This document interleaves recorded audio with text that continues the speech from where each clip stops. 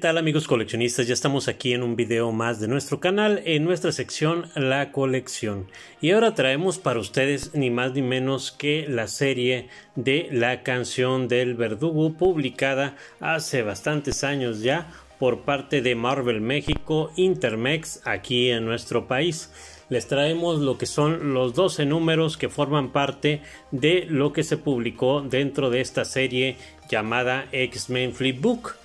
Como verán, aquí es el título principal y este arco argumental, pues recuerden que es un crossover entre los cuatro títulos mutantes que se publicaban en aquel entonces en Estados Unidos y aquí en México hasta el momento esta editorial Marvel México Intermex es la única que ha publicado este crossover de los noventas. Así que ya saben, acompáñenme en esta revisión de esta miniserie, bueno, serie crossover de títulos mutantes. Mi nombre es Francisco Abraham, miembro del Club de Coleccionistas de Cómics de Tampico. Sean todos y todas bienvenidos y bienvenidas.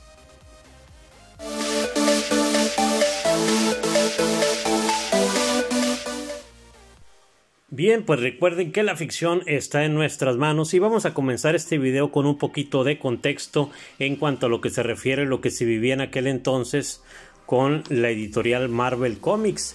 En aquel entonces, en los noventas, pues estaba después de su apogeo en los X-Men el dibujante Jim Lee tan conocido por su característico número uno de X-Men super vendido eh, a nivel mundial con 8, más de 8 millones de copias. Bueno, recordemos que él estaba en ese título de X-Men. Y después, al pasar el tiempo, también nos dimos cuenta que iba a ocurrir una desbandada de parte de los dibujantes o artistas que estaban en Marvel Comics para unirse y estar armando una nueva editorial que fue Image Comics.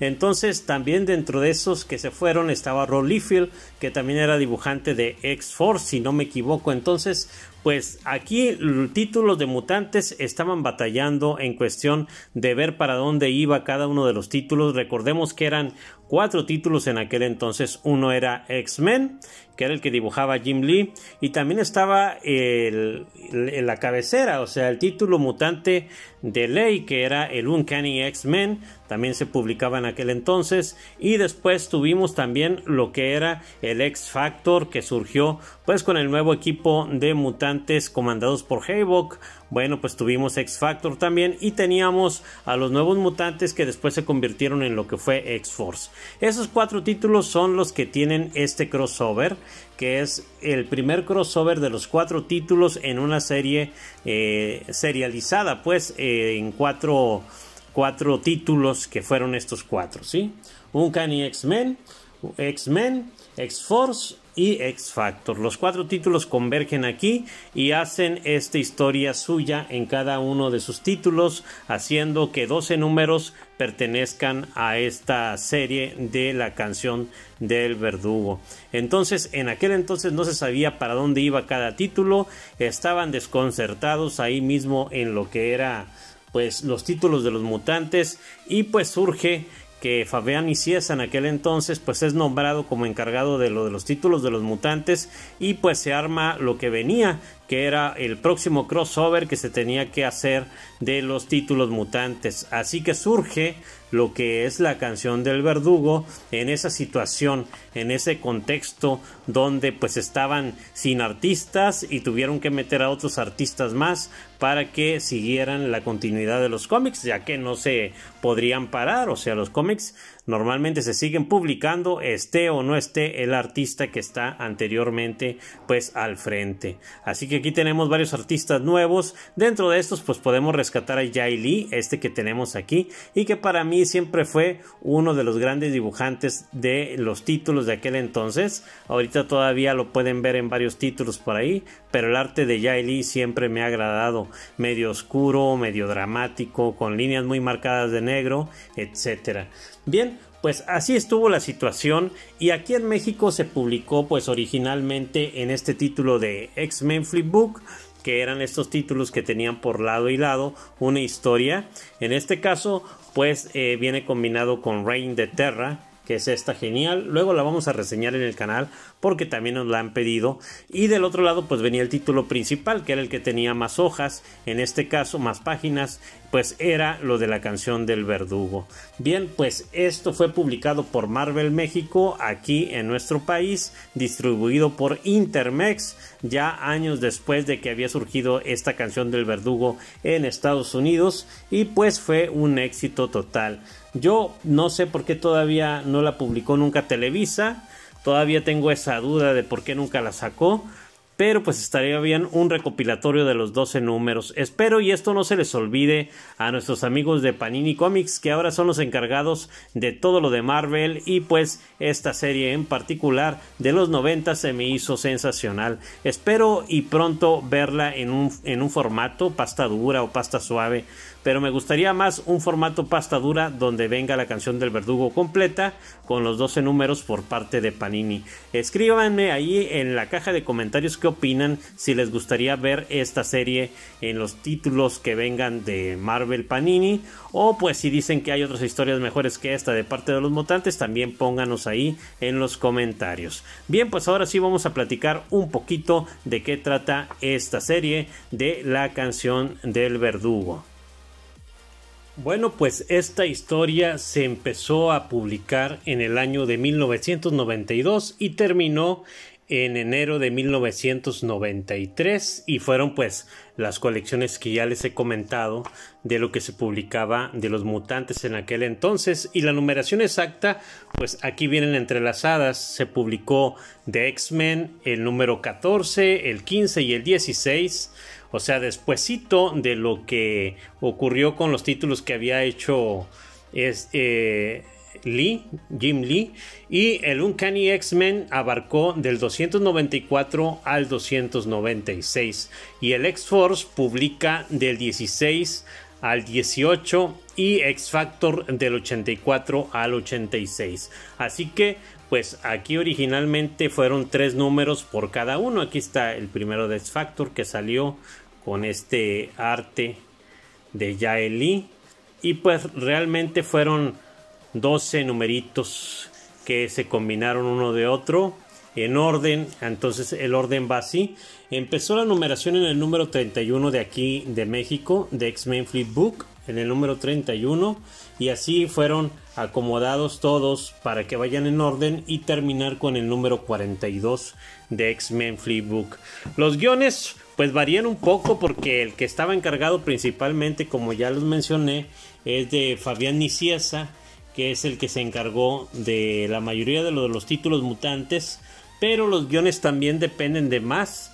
Como aquí tenemos a Scott Doble, aquí se menciona a Scott Doble, también estuvo Peter David y Fabián Niciesa, pues eran de los que estaban trabajando en los títulos de los mutantes. Y en cuanto a dibujo, tenemos el dibujo de Andy Kubert, en este caso, el de aquí es Brandon Peterson. Pero también vamos a tener el dibujo de Andy Kuber, el dibujo de Greg Capulo y también el dibujo de Jay Lee, como ya lo mencioné. Son esos cuatro los que van a participar en los lápices o trazos. También cada quien va a tener lo que es su entintador. En este caso, las tintas son de Terry Austin. Y aquí tenemos el número con el que iniciamos, este que está aquí. Como podrán ver, pues luego luego empieza eh, lo que es la presentación de Cable porque pues se va a acercar un momento muy importante dentro de lo que son los mutantes. Así que esos son los títulos que van a aparecer con sus artistas respectivos y de ahí en fuera viene la historia. Bien, van a participar varios equipos que me gustaría mencionar antes de que pues ustedes sigan con el video. Claro, vamos a tener la participación de los X-Men. Ya saben, Javier es el líder de ellos. De los X-Men vamos a tener participación de Cíclope, de Jean Grey, de Tormenta, de Wolverine, Bestia, Arcángel, los principales, de Coloso, de Rock, de Bishop, etcétera, ¿no? Y de X Factor en ese entonces era los que tenemos aquí. Bueno, en X Factor estaban eh, lo que es Jimmy Madrox, estaba pues Havok o Havok, Guido, también Polaris y el hijo de Magneto, pues Quicksilver, como lo vemos aquí, son de los que participaron pues en lo que es X Factor. Y también vamos a tener el X-Force. El X-Force ya saben que también tiene sus personajes principales. Dentro de esto pues vamos a tener la participación de lo que es el principal, Cable. También vamos a tener a Cannonball, a Firal, a Shadowstar, lo que es Domino. Todos ellos, Boom Boom y Warpath, que son los que participaban en el título de lo que es X-Force. Y aparte vamos a tener participación de los jinetes del apocalipsis, también de, de, los que están seguidos. En este caso, pues ya saben que es Caliban, eh, Hambre, Hambruna, que también va a tener su participación, Guerra también. Así que van a participar ellos, los jinetes oscuros, que son una visión de apocalipsis más fuerte que son más letales también van a participar. Entonces hay varias agrupaciones que van a salir dentro de todo esto. Sí, esos son los que van a, salir en lo que son los títulos de los mutantes. Y en principalmente pues esta historia. La historia va a comenzar pues con lo que es el intento de asesinato al parecer de parte de Cable. Y pues aquí esta historia también va a girar en torno a lo que es la participación de estos personajes villanos como lo son Apocalipsis, Strife, que va a ser el principal villano, y también vamos a tener a Mr. Siniestro, que también es de los que salen mucho aquí. Entonces, no les voy a spoilear tanto porque yo sé que hay muchos que no han leído esta serie y que están esperando que salga en otro formato para que pues la puedan deleitar. Pero pues eh, sí es un combate entre, equipos mutantes, entre grupos mutantes. Miren el trabajo de, de Yaeli. Hay algunos que no, que no les gusta, pero ya saben cómo es esto del arte. Entonces a mí sí me encanta el dibujo de Yaeli. Miren esto. La verdad, enfrentamientos entre viajeros en el tiempo nunca está de más. Entre Cable y Bishop. La verdad está genial. Y estos enfrentamientos tienen que ver porque pues al parecer Cable pues ha eliminado o ha querido eliminar a Charles Javier como ocurre pues en el primer número y pues de ahí en fuera vamos a encontrar pues esta rivalidad entre los personajes porque pues para empezar Cable es el líder de los X-Force y los de X-Men se sacan de onda como diciendo no, pero si el líder de X-Force eh, acaba de de intentar asesinar a Charles Javier. Entonces vamos sobre los X-Force, ¿no? Y dentro de eso también la participación de lo que son los X-Factor también tiene que salir pues a la luz. O sea, todo esto va a generar muchas dudas sobre los principales personajes de las agrupaciones y también va a tener la participación de estos villanos que están dentro de todo esto que está ocurriendo y que también va a generar mucho misterio para saber qué es lo que pasó al principio. También esto nos va a llevar a entender y es como las primeras menciones de lo que es el virus Legacy que a partir de esta serie pues viene siendo un papel importante dentro de los títulos mutantes, ese virus que Strife viene a integrar aquí a la realidad aquí a, los tiempos de los noventas. Y pues eh, no solamente ocurre ese intento de asesinato, sino que también se raptan, o sea, se llevan a Cyclops y a Jean Grey. Y dentro de esto, pues no se sabe quién fue, todos dudan de todos, empiezan a pelear, pero poco a poco vamos a descubrir que Strife viene siendo pues un personaje tan importante y que tiene que ver mucho con Cable. Aquí pues no se los menciono para no spoilear todo, pero sí tiene mucha acción, sí tiene muchas peleas, sí eh, hay escenas muy emotivas de parte principalmente de la pareja Summers, o sea, de Scott y de Jean Grey. Está muy bien planteado lo que es la historia. Los combates entre los personajes también están muy bien dibujados y muy bien llevados a cabo en cuestión de lo que es el guion. La participación de varios personajes mutantes como Arcángel, la verdad, esto está muy bueno. Además de cómo Apocalipsis está pidiendo la ayuda de los X-Men para enfrentar a Strife y todo lo que conlleva esto de los rivales, eh, pues mm, villanos, ¿no? Y dentro de esto, pues me gusta que Arcángel pues tenga un papel relevante, ya que recordemos que Arcángel también tuvo su cambio de, look y de poderes debido a Apocalipsis y todo lo que hace eh, con él. Así que dentro de esto, pues de pasar de un simple mutante con alitas que volaba, pues ahora es un brutal, brutal mutante, ¿no? Asesino con esas alas desplegables biónicas que tiene, ¿no? Y bien, pues toda esta historia gira en torno a todo esto, ¿no? Las motivaciones de cada uno de los personajes es lo que es el hilo conductor, lo que nos va a llevar a cabo eh, ver de qué se trata cada una de, las de las motivaciones de tanto de Strife como de Cable, de los Summers, etcétera, etcétera. Bien, pues aquí está este trabajo de Jaeli, aquí está este de Andy Kubert, aquí está la página que inicia, aquí tenemos Andy Kubert tras algunas páginas y lo que son las tintas son de Mark Pennington, como podrán ver varía en cuestión de lo de las tintas. Mm. La participación de varios personajes femeninos también se deja ver como Psylocke. Aquí está ya el último número, este con el que cerramos el capítulo final donde está enfrentándose Cable a Strife. También muy brutal final. Este es el que está dibujado por Greg Capulo. Capulo en ese entonces era de los que estaba dibujando los títulos mutantes y aquí pues es donde le toca a él hacer este, estos dibujos, estos diseños que realmente pues están muy bien para lo que era en ese entonces. Ya recordemos que ahora en su paso por inclusive DC ha hecho muy buenos trabajos.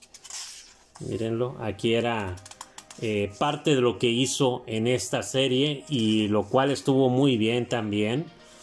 Tenía una facilidad de trazo increíble. Miren este cable. Mm, ¿Qué tal?